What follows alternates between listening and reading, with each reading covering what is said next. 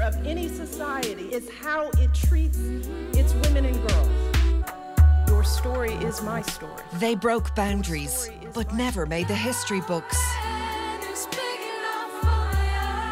Had she not changed her gender, she would never have had the opportunity to study. It's women and girls. We create the smart, powerful, creative. She jumped from 1,700 feet and successfully landed.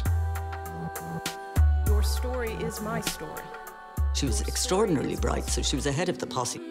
By choosing their own path, they changed the world. Herstory, Ireland's epic women, starts February 3rd on RTE1.